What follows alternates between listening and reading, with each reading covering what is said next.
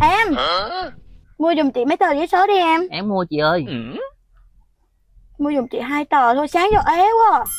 Ế lắm hả chị? Ế lắm. Trời ơi thấy thương chị quá à Đưa đây em coi thử. Em coi đi. Số này đẹp lắm em.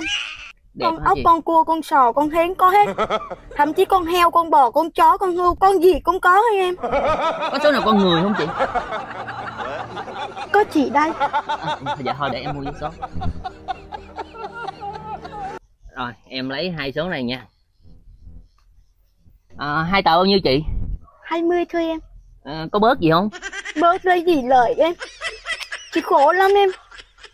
Dạ chị. Dạ em gửi. Vô mắm rồi ha. Chờ chút chị thối tiền cho em. Chị gửi em. Rồi cảm ơn chị.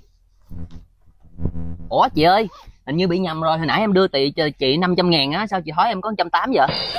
Ý em nói chị ăn gian của em hả? Em biết. Sáng giờ Sáng giờ Chỉ có nhiêu đây thôi. Vậy chị nói là em em, em kiếm chuyện với chị hả? Lúc nãy là em đưa chị tờ 500 ngàn á Rõ ràng em đưa chị 500 ngàn á Em mua hai tờ nè Nhưng mà chị hỏi em lại có 180 hả? Nè em xét đi Em xét đi Em xét cho chị coi. Rõ ràng lúc nãy là tờ 500 ngàn của em. Đâu rồi? Đây nè Rõ ràng. Đây là cái tờ 500 ngàn của em nè. Sao em biết là 500 ngàn này của em? Cái tờ 500 ngàn của em Tại vì á em nhớ cái tờ 500 ngàn của em Cái số series nó là 4 số 9 á. Chị coi có đúng 4 số 9 không? Đúng rồi. Đây nè Đó 4 số 9 đó. Em sợ con người của chị luôn á. Chị có nỗi khổ riêng của chị mà.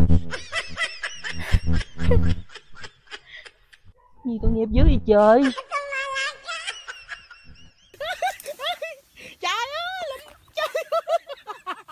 Trời ơi.